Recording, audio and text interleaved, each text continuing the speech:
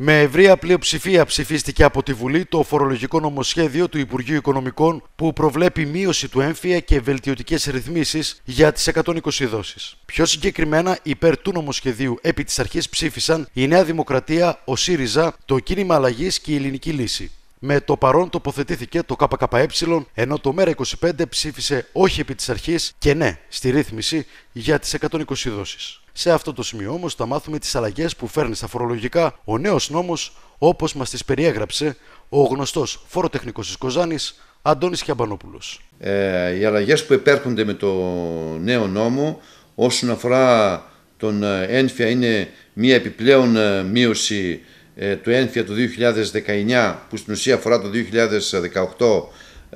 2018 η οποία μεσοσταθμικά ανέρθει μέχρι 22% και πάει κλιμακωτά μεγαλύτερη έκπτωση στα, στις μικρές περιουσίες και λιγότερη έκπτωση στις μεγάλες περιουσίες. Συγκεκριμένα ε, για περιουσία που είναι μέχρι 60.000 ευρώ ε, η μείωση φτάνει το 30% του ένφια ενώ για περιουσίες που είναι πάνω από ένα εκατομμύριο φτάνει το 10% ε, η μείωση του ένφια. Ε, αυτή είναι η βασική αλλαγή όπου ιδίως σε αυτούς που έχουν ε, μικρή ακίνητη περιουσία αυτή η μείωση θα είναι αρκετά σημαντική.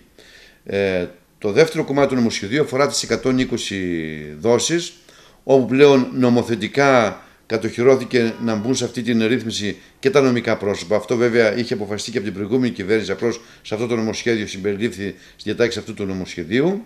Αλλά έχουμε και κάποιες επιπλέον αλλαγές όπου είναι η ελάχιστη δόση από 30 ευρώ μειώνεται στα 20 ευρώ και η προσάυξηση όσον αφορά τις δόσεις, η τόκη δηλαδή που θα πλήρωνε κάποιος όταν βάλει σε πολλές δόσεις τη ρύθμισή του, από 5% πάει στο 3%.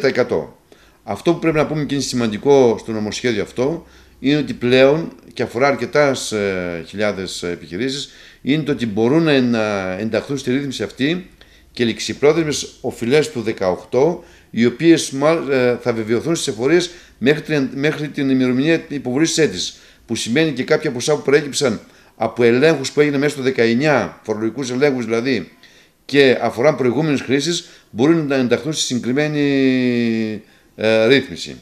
Επίσης είναι σημαντικό το ότι αναστέλλονται όλα τα διοικητικά μέτρα ε, αναγκαστικής ίσπραξης. Είτε αφορά αυτό τη δέσμευση των προσωπικών ε, λογαριασμών που παρακολουθούμε τις τελευταίες μέρες ότι αφορά πολλούς επαγγελματίες και, και φυσικά πρόσωπα και νομικά πρόσωπα που δεσμεύονται λογαριασμού τους, είτε αφορά διάφορες διαδικασίες ε, πληστηριασμών των ακινήτων τους, όπου μπαίνοντας κάποιος στη ρύθμιση μπορούν να σταλούν όλα αυτά τα διοικητικά μέτρα.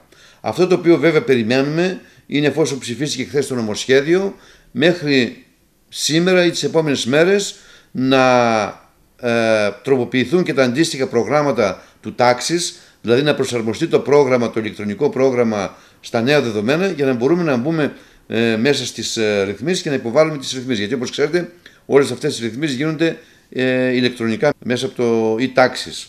Άρα περιμένουμε φαντάζομαι τις επόμενες ώρες, τις επόμενες μέρες να τακτοποιηθεί και αυτό το θέμα για να μπορούν όλοι οι φορολογούμενοι να ενταχθούν σε αυτές τις ε, ρυθμίσεις.